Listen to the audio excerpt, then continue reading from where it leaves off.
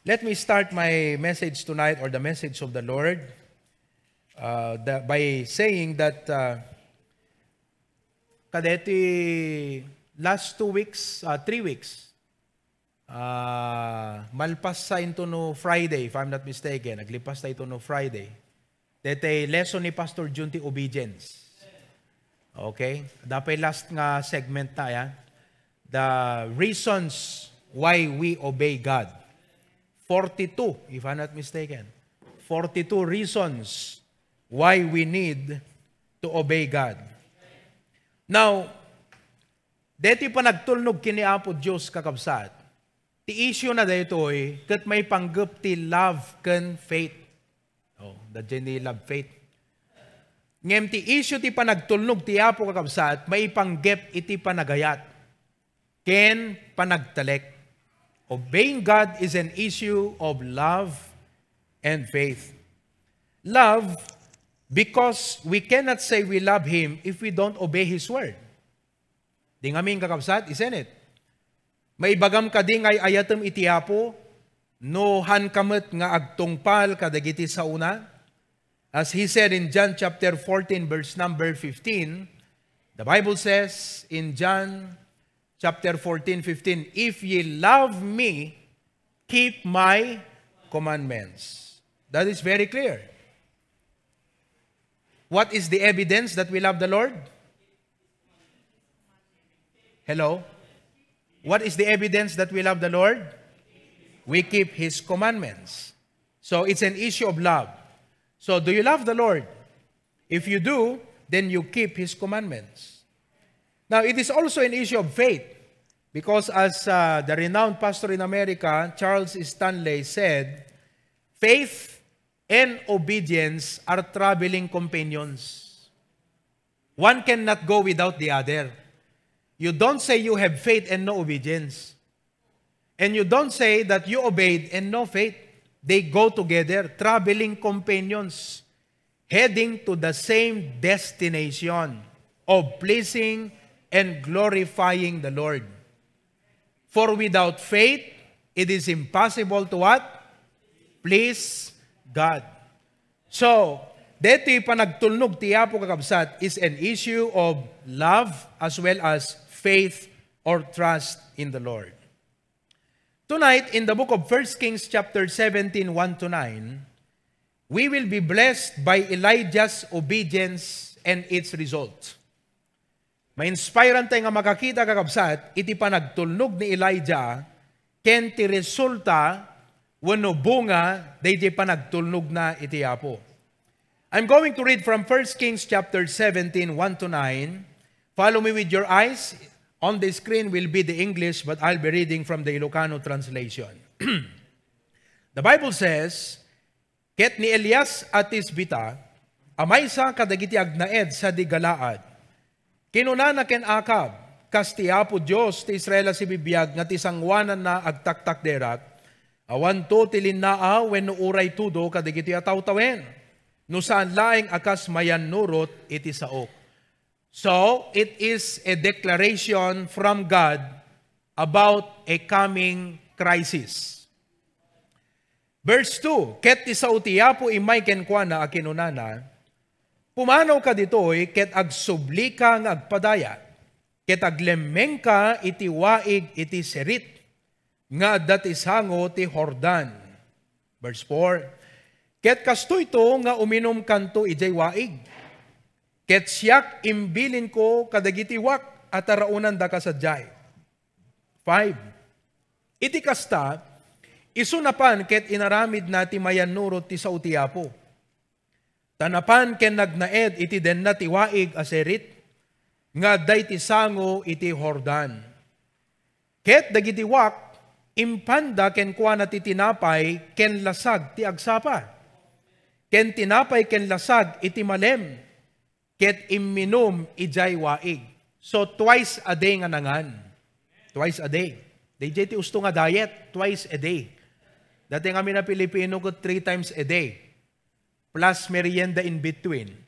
They cut with midnight snack six times. Okay?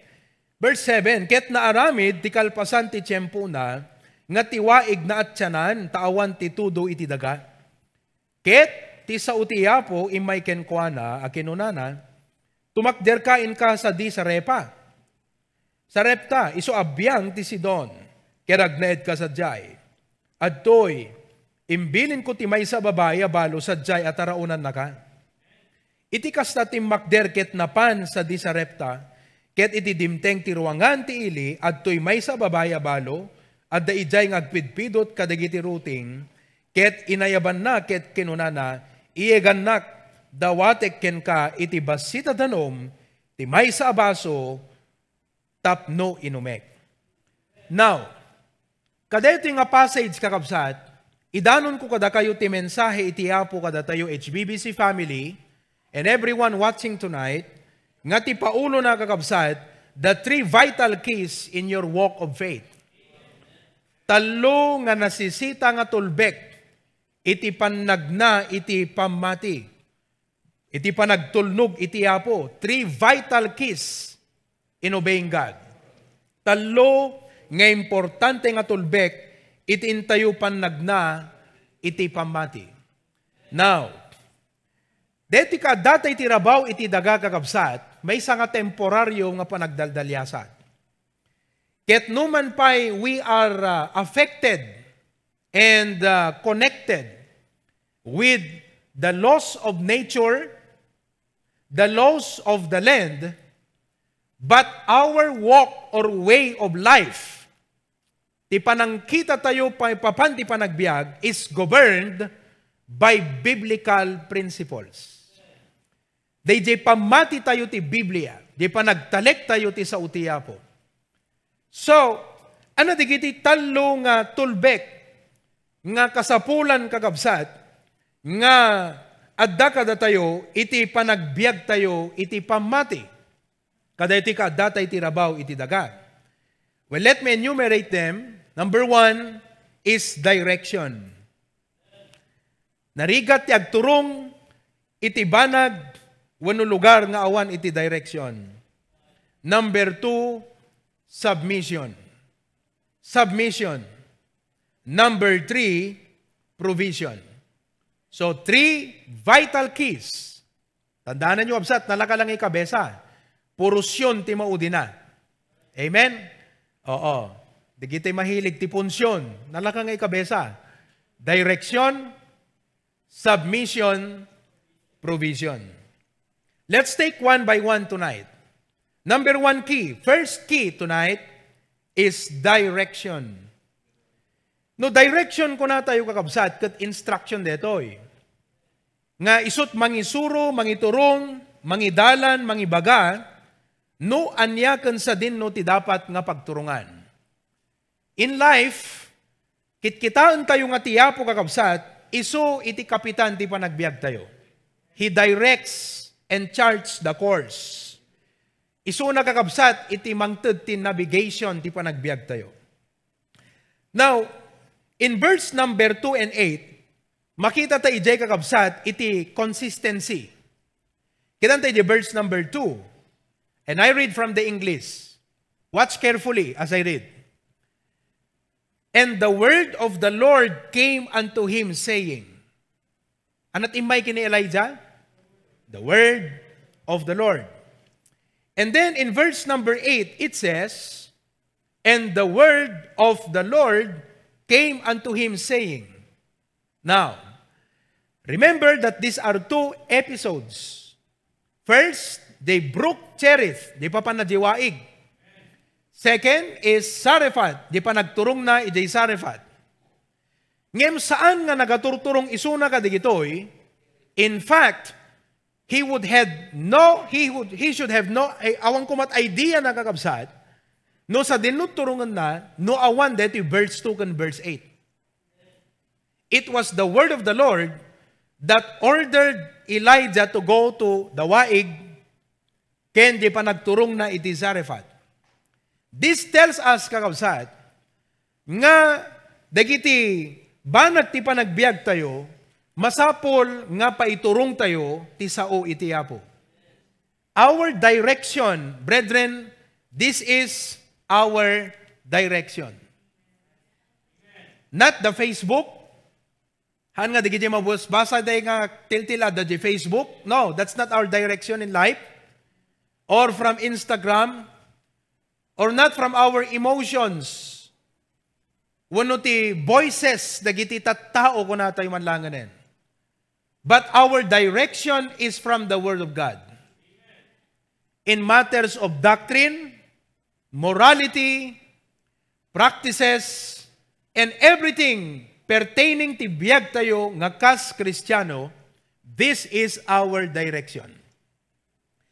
Now, as I read the passage, I'd like to share to you two practical observations. One, letter A, In a time of crisis, the word of the Lord became Elijah's direction.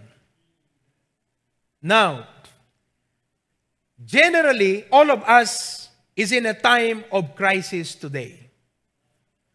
And the vital key, titulbek nga masapol tayo, kadayti nga krisis kakabsat, awan sa balinohan nga iti word of God. The Bible says that men shall not live by bread alone.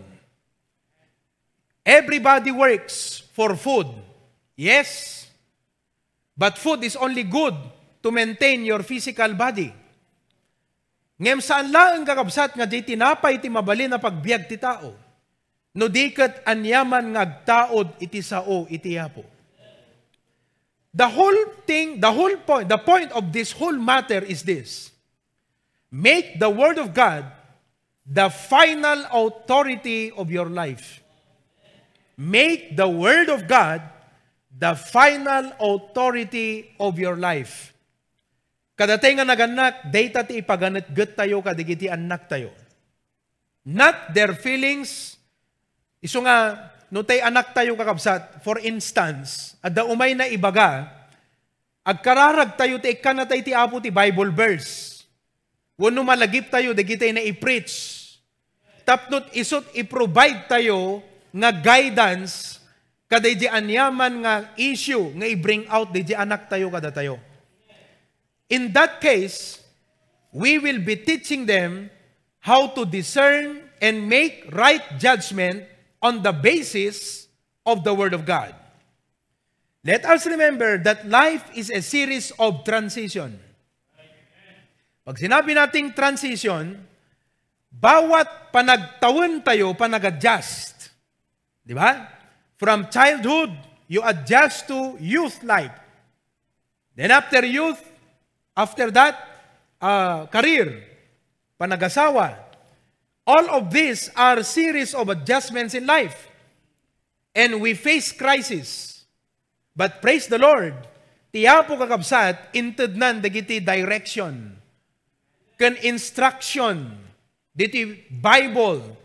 All we have to do is listen to how it is preached. Nababanti pa na kay kasabana, we will find and understand the sense of the Bible and read it, meditate on it. So, the word of the Lord became Elijah's direction. Second observation, kakabsat, I want you to take this thing seriously is this. Review your preaching notes. Can you get my preaching notes diyan office? Diyan uh, yeah. Okay? Review your preaching notes. Kada kayo kakabsat nga dayan ta Zoom, itayag yuman, di kita preaching notes yo. Where is the person in charge here? Okay? Kitantay man? Can you show? Awan dan samot teng kakabsat. Nagpukaw dan. Yan. Okay?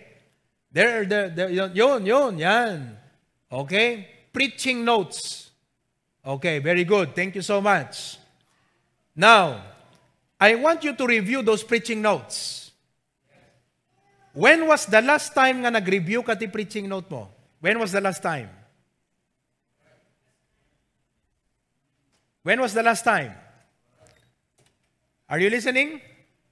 Now, why am I emphasizing this? Okay. Ibagak pa lang reason na kakabsat. By the way, uh, mamaya na. Why? Ito yon.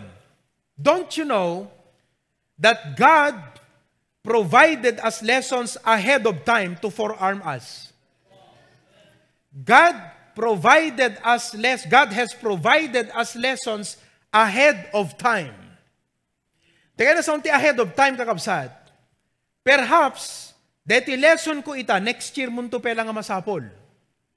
Which means that next year, you should review the notes that you have written today because you need to be reminded. Naawatan niyo kabsat? God provides us lessons ahead of time. So take this thing seriously. Tonight, before you go to bed, please get your notebooks. Just review them. Just review them. Just go over. Just go over. Because mabalin nga da na i-preach ko ano ni Pastor June last year or in the previous years, nga hamo kailangan daydi nga kanito ngam itam nga masapol. Always remember that. Past preachings, let me put it in another way. Past preaching lessons may be the timely instruction for the present. Past preaching lessons may be the timely instruction for the present. Hamulang amo kakabsat, nga dayjay naglabas nga preaching lessons, okay? Kat isu dagayam iti timely nga principles nga masapol mo kakabsat iti dayto nga gundaway. Let me put it in another way. Ito yon. you may not needed it when you heard it, but you surely need it now. Mabaling nga mo masapol idi, time nga pa nakaikasabana, ngem itan nga masapol mo. Kasla DJ ko na ni Pastor Junti na minsan, when he was uh, preaching on uh, obedience, kat ko na na, nakat adu DJ, di ngamin. Isurat ko latta ko na na, mabalin nga hanyo masapol ita, ngem adan to time nga kasapulan nyo digitoy. So kasla ti arig nakakabsat. From time to time, ket numamin ano nga dagundaway tayo nga ag-take note, kan agdingeg ti so ti apo ko nag-take note, kas lagundaway tayo kakabsat nga agurnong, nga agurnong, nga agurnong. And praise the Lord. There may be a reason why imadu kakabsat ti schedules tayo ti preaching. Are you not wondering why? At darason ti apo kakabsat, no apay nga imado. Kasi awan mo't deta Monday night dati, we had Monday night for prayer meeting with men, but now it became a regular service. Wednesday night, okay? Friday night, Sunday morning, Sunday afternoon. So, dumagdag ng dumagdag ang ating preaching uh, programs. Why? Because God is already giving us the tools that we need. Not maybe now, but next year. Therefore, next year, we must have a sense to realize, rebuke man digiti preaching idi last year, baka itak nga masapulen. It's like, you know, umay ti December, o kagakman di cabinet, idi inukag mo, ni dadagayam jacket, mausar ko itan, pa naglalamiis. Review your preaching notes. Now, As an example, kakabsat, do you know, did you realize, nga dayti nga preaching kakabsat, na i-preach kon, sino ka dakayti makalagip? Nga dayti nga lesson kat na i-preach kon, will you raise your hand? Ayon. Now, I am preaching it now and it is very timely. Do you know, ti may isang application na dayti kakabsat, jipan ng tad, tayo first fruit to no December 20. Because probably you now have the amount, kayong adut pa kasulisugam. But this message ti adadda nga mang-inspire jay pusom to obey God, to walk by faith, and leave the results to Him. So, tatay malem kakabsat, re-rebuke, dito nga notebook ko kat, uh, kaano dito, kat 2000, uh, let me check. This notebook is 2018. This one, 2018. This one is also 2000, let me see. Okay, February. This is also 2018. So while I was scanning my notebooks, hala nga dating a lesson kakabsat, but personally, at dada na isursurat ko dito, nga nakidilan ti apo kanyak idi. Kat ita nga mabasa kakabsat, nagmayat iti pa nagsaad na kanya kita. Iso nga importante nga, the notebook mo nga pagilistaam dagiti pakidilan ti apo ken ka, because in next year or following year, kakabsat nakasamsam ito pelang digito nga review ang kala, digito iti kilaban kakabsat nga nakaimimas latta. You know? So we talk about direction. We have been praying kung kunatay gut Lord, anat aramida kita isurunak amom ti aramidem, alam digiti notebook mo, review um kit di, te ikan nakatiapod idea ti aramidem ita. Because di mo amo, nga DJ kasapulan nga principle ita na ito din kakabsat two years ago. Oh, na ito din two years ago. Many times kakabsat, kasta iti way iti hapo. Because God will give us messages ahead of time. Hala nga ti sa utiapo kakabsat timely, no di preparatory. Remember that? Preachings are not only a timely lesson, they are also preparatory lessons. So I hope nga di kita nga notebooks tayo, kandi kita notes tayo kakabsat. Haan nga tiltila at that ay ayan na kuma kakabsat. Isuro tayo, digbasit, digiti anak tayo ta, ita idalumanat da digidjay, ita digidjay kat bakahan nan tumaulit pa ikit di nga maipritsan. Ngem digidjay nga principle kakabsat, they are equivalent to tools in life. Hampulos nga agkalawang, datay lat agkalawang. Ngem digidjay nga sa utiapo, hampulos nga aglati digidjay kakabsat. So let me encourage you, set aside time tonight or this week. Get all your notebooks No in-save mo di cellphone mo, good. Laptop, good. But take time to review. And you will realize, nagadugaya man kakabsat, namnam second iti tools, wonderful, treasures iti panagbiag mo, babaan ka digiti nga preachings. So, number one, vital key in your walk of faith is direction. Di kita kakabsat, the Bible, kan digiti preaching notes tayo. Amen? Okay. Number two is submission. The second vital key is submission. Now, let us read verse 5 and verse 10 for another consistency.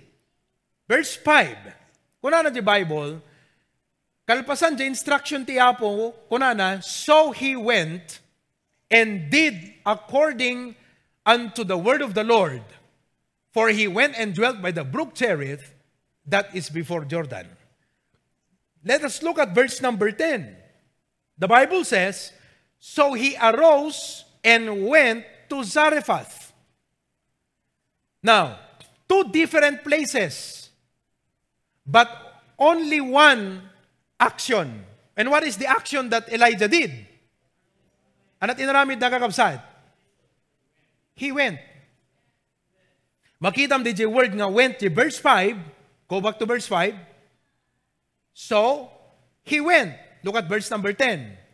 So, he arose and went. Nagturungan na kakabsat. Ijay pagayatan tiyapo. DJ direction itiyapo kenkwana. Now, letter A, obedience is a step of faith. Obedience is a step of faith. No, ada pa nagtalag tayo tiyapo kakabsat, Agtulog tayo keng kuana.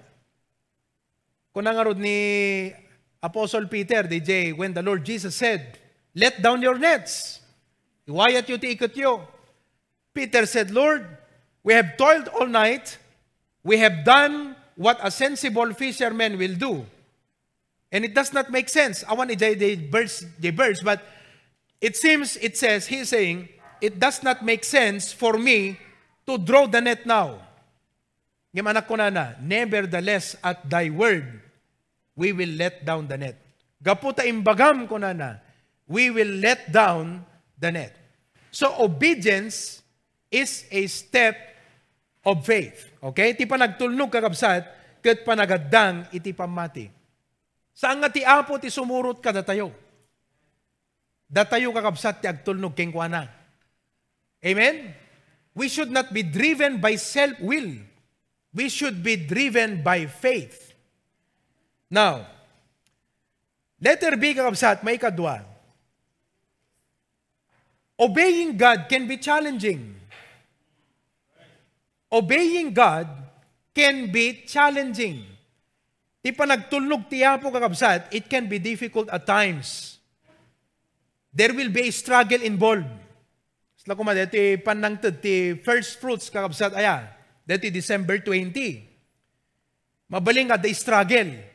Ngem no da ayat tayo ti Apo, ken ada pa nagtalag tayo ti Apo kakabsat, maitid tayo by God's grace.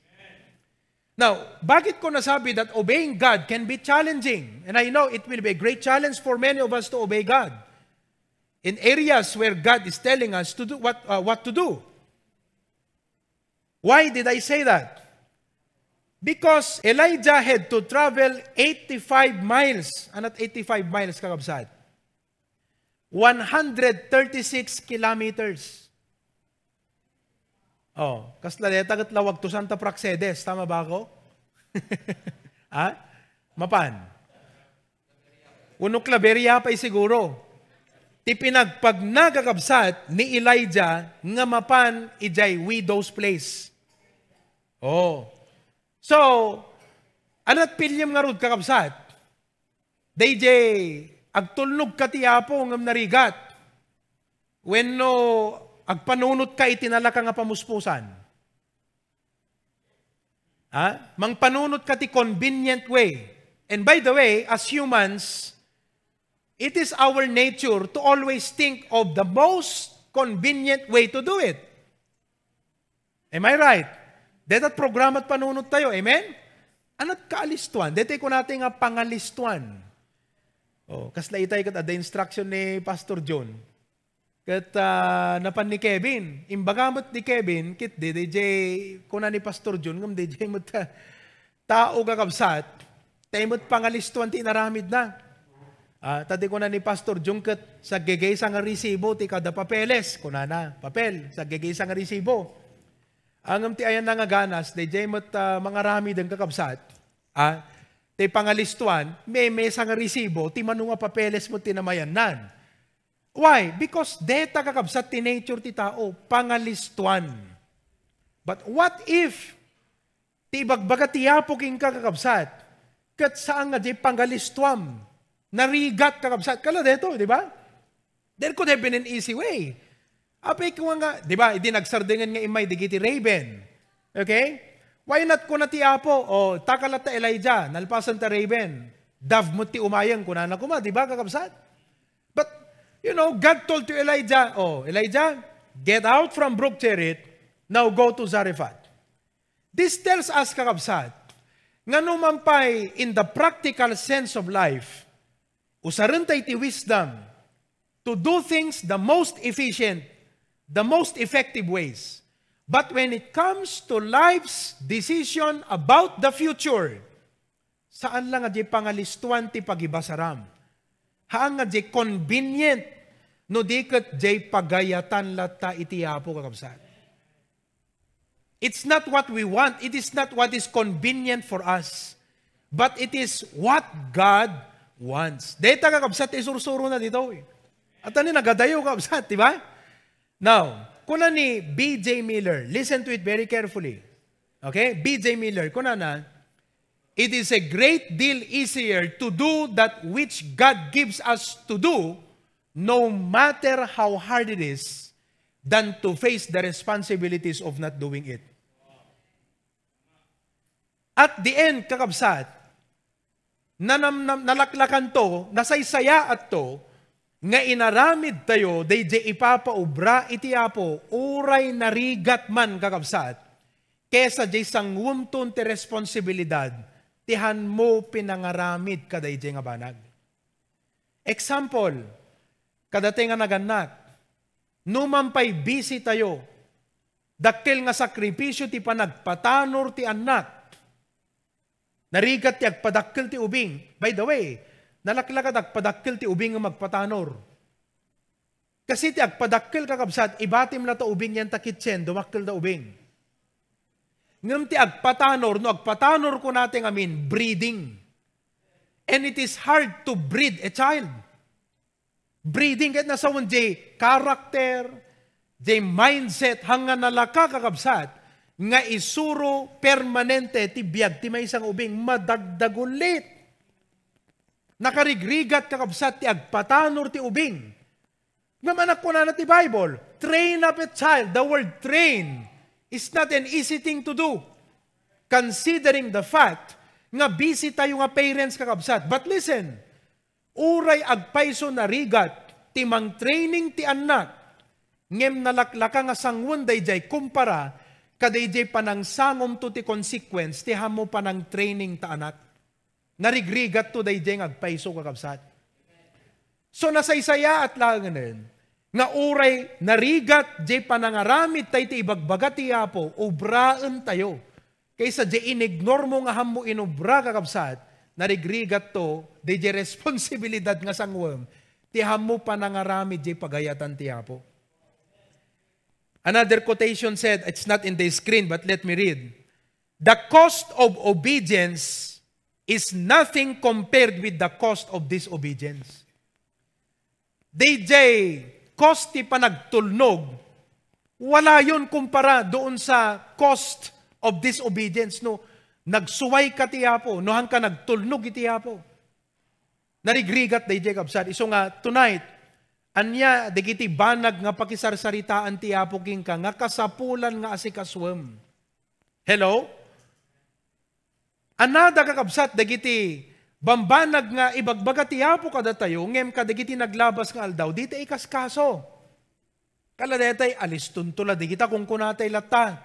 Be am latta, di kita, mayat to latta ngem, manen kakabsat, mariknam, numakangag kat preaching, irengreng to man ti Apo king kan, irengreng to man ti Apon. So, Kakabsat, digiti nga banag. Let us not ignore God's direction in our lives. Kaslama mo ta pa nag-diet. Di ngamin na uh, Conrad. Ha, na nga to jay level ti sugar ni Conrad. Alagat, let's go for the solution na ayan. Nalpas, nalpas di jay, nalpas ti aminen. So, let's face the present situation. Agat, numan pa'y narigat ti agsidat parya ita. Aglesen ti rice Umadayo ka, dagiti na sa samit nga makmakan. Bumangon nga nasapat at numapa nag-walking ag exercise. Narigat nga ba nagdayjay? Ngayon no dim aramiden ita, ay kat narigrigat to, narigrigat to konrad, DJ sangwom nga consequence, DJ hamupin ang ubra, DJ rubeng mo nga aramiden ita. So, tipak pakita dahiti nga lesson kada tayo kakabsat. Hantay ko mga agawid, nga inrikup tayo dahiti kat kaslang, nalpas manen, no? Sapay ta ibati na, ti apo kakabsat, makisao maminsan pa nga gundaway kada tayo. Katrangrangan na tay manan kadigijay banag nga imbagbaga na tinaglabas, malagip tay kumaman itan. Listaan tay digiti nga bambanagan, kat ko na tayo, Lord, ase kasuho ko na po. Obraal ko na po. No nagulo ti finances tayo kakabsat, kat ti apo makididilking ka, tugawam lang ng kakabsat, tanuham mo nga asikasuan deta, lumala nga lumala. Kunam apo, asikasuan or noso kon deti finances, oray manong aldaw. Nataltal nanto, di panunot mo kakabsat nga inaramid mo, di di pagayatan ti apo. So, obeying God can be challenging. But it is more challenging to face the responsibilities of not doing the will of God. Amen? Dayjay ti may kadwa nga tulbek kakabsat, submission. Number three tonight is provision.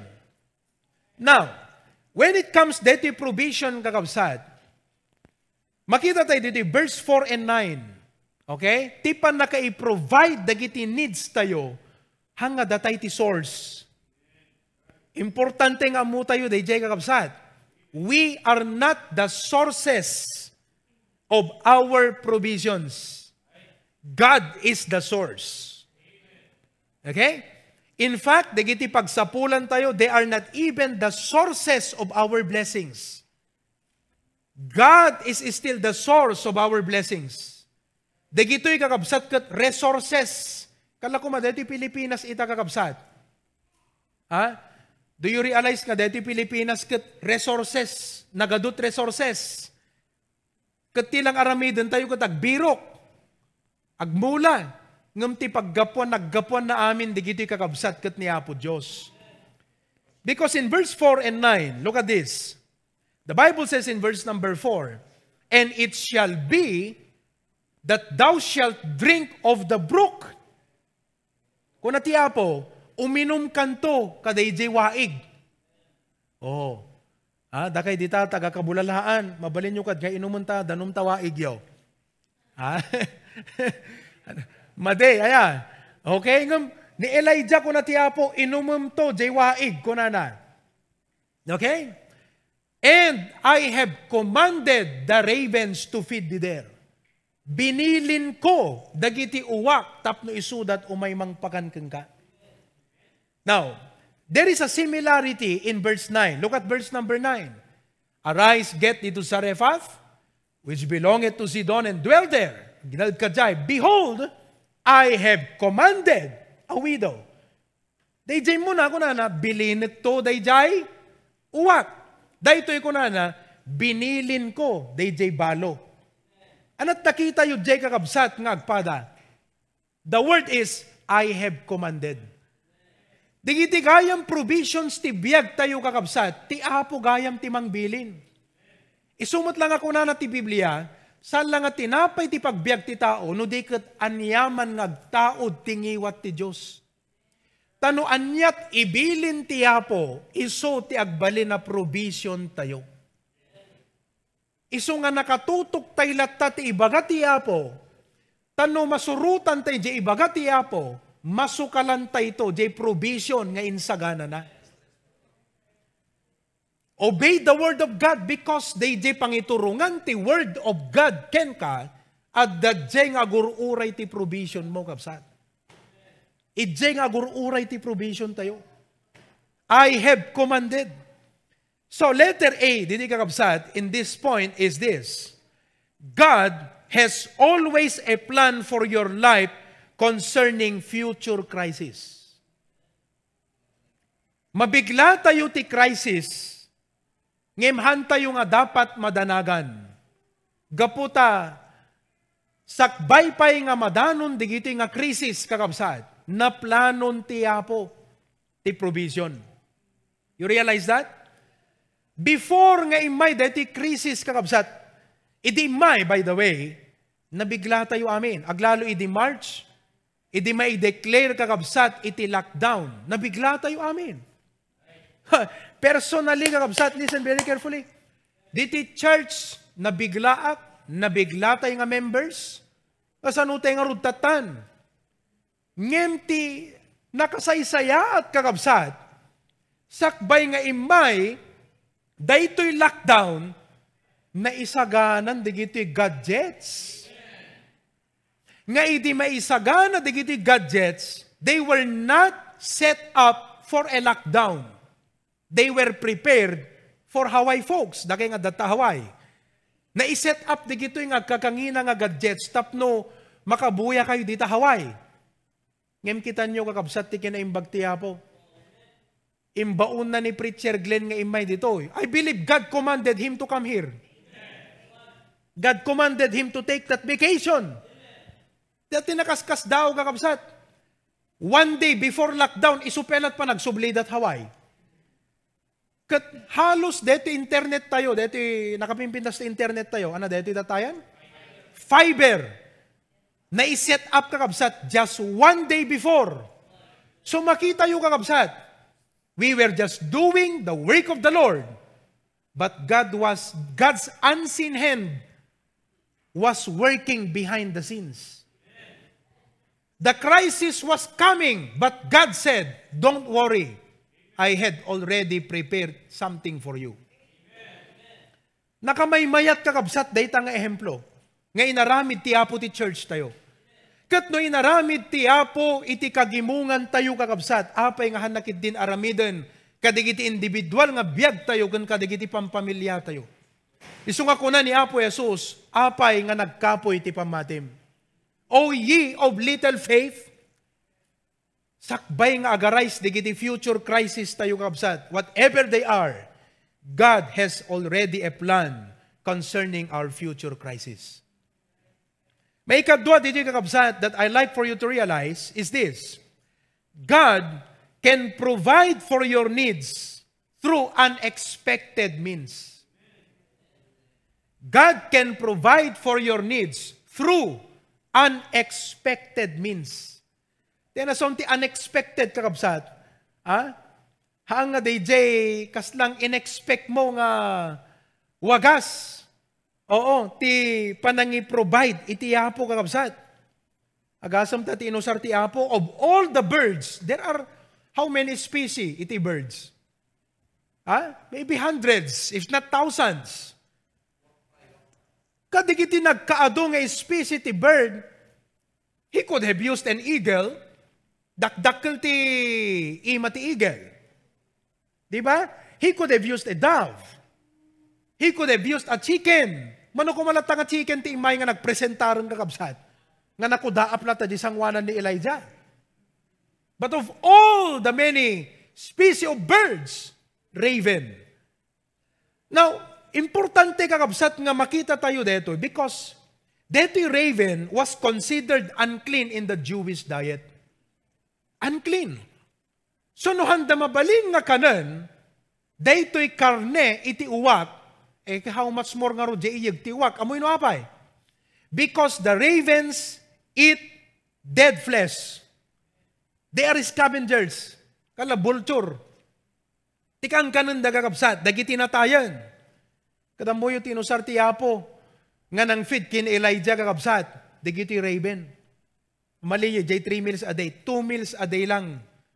2,000 times nga timmayab digitoy, nga raven, nga imay. Diya mo kakabsat, no may may isa nga raven, ti imay, wano nagsisinublat da. But of all the many, why the raven kakabsat? If this is a scavenger, Dahiti pa'y wak iso di baon ni Noah, di barko, katana nagsubsubli, di ba? you know? The Lord Jesus said, consider the ravens. Why? Well, is it not that God can use even the unbelievers to provide for your need? Unexpected. Iso di ko na di Bible, give and it shall be given unto you. Good shaken, pressed down, shaken together, running over, shall men give unto your bosom. Sinot mang Ted? Men. Who are these men? It could be the unbelievers. Unexpected means. Now, it does not matter anymore. Basta importante, naggapo ti Apo, de nga provision. God used a struggling widow. And by the way, deti gayam nga widow, some commentaries say, She is a Gentile. She is a Gentile. Kat ti Gentile hindi kakabsat, there was a distance between the Jew and the Gentile. But God can provide your needs through unexpected means. Kaya ti po kakabsat. May katlo, God commands the blessings. Psalms 133 verse 3, the Bible says, as the dew of Hermon and as the dew that descended upon the mountains of Zion, for there the Lord commanded the blessing, even life forevermore. What a blessing, kakabsat!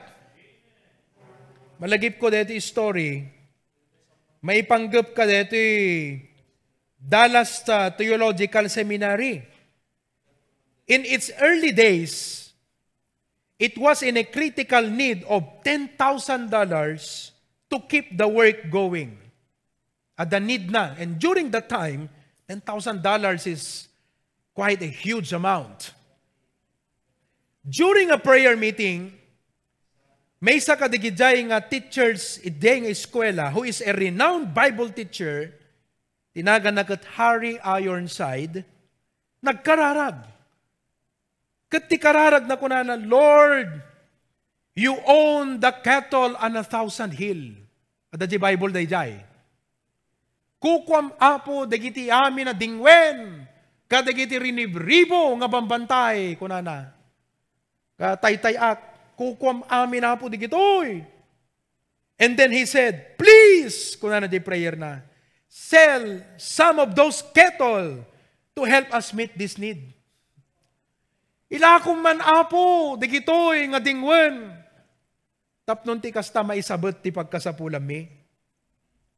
Surprisingly, shortly after the prayer meeting, at the dimteng nga cheque kakabsat nga $10,000 ijay eskwela.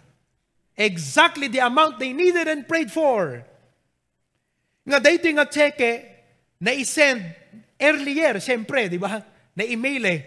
So it was sent earlier by a friend who had no idea of the urgent need in Ironside's prayer. Awan idea na day nga need.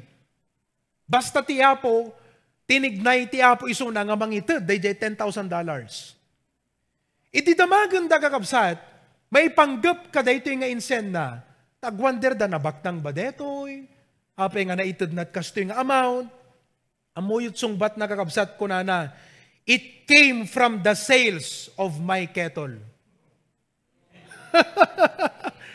Data $10,000 naglakwak ti dingwan ko kunana. Kita um kakabsat binilin ti Apo, dayjay nga tao. Tapnon ti kasta ilako na, digiti dingwon na. Kadji paglakwan na ited na, dayjay pagkasapulan, dayjay nga eskwela. Oh, brethren, nakaskas daaw iti Apo. This is a true story. Baka kung kunayo parparbo deto, pay peso deto yung kakabsat. God commands the blessing. Therefore, lastly, letter D, dito iti maudi kakabsat nga realization, Obedience is our real concern. Provision is God's concern. Saan nga di provision ti number one nga problema tayo kakabsat? Ti number one nga dapat isettle tayo ti biyag tayo, jay panagtulnog tayo ti Apo. It's obedience that is our real and primary concern. Because God is in control of your present and your future, and He takes care of our needs. But seek ye first the kingdom of God and His righteousness, and all these things shall be added unto you. Praise ko ti Apo kakabsat ni Brother J. Braille. Gasam ko ma, J. Braille no hangka nag-resign di trabahom ide ngam gaputa na dagsan jay burden ti puso na. Brother Jebrel is always here every service. There is a burden in his heart to serve the Lord. He wanted to serve God on Saturdays and Sundays. Now, hindi lang siya nagsiserve sa Panginoon Saturdays and Sundays. But in all of our services, He's here to assist us and help us here. Amen? Oh, God will take care on all of these things shall be added unto you. Kakabsat, hanga ti lubong tikit kitaan tayo. Saan nga iti aglawlaw tikit kitaan tayo, tumangad tayo diyan nga to. Kat digiti talo kakabsat, nga tulbek, masapol, nga i-exercise tayo ida. Number one, direction. Tonight, hanyo nga tagibasitan day nga advice nga inted ko as pastors, kada, as pastor kada kayo kakabsat. Alain nyo kit digiti notebook tayo, Di kita preaching tinaglabas, kadag review tayo. Lakit di adda, adda ti na ituding ijay kakabsat nga masapol mo nga wisdom ita. Secondly, submission. Di pa nagtulnog tayo iti apo. Number three, provision. We are not the source. God is the source. But you need to obey Him. You need to trust in Him. Amen? And all of God's people say, Iapo ti madaydayaw kakabsat.